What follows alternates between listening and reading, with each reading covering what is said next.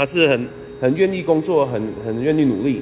啊，那他他也不是不愿意生啊，是不能生，所以这样他如果要这样离婚，他也可能也很难过。他也是难过，但是就是我们虽然是可以生活，但是也有摩擦。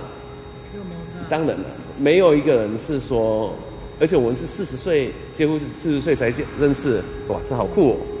怎么酷？这个旧的。很棒了，很棒了。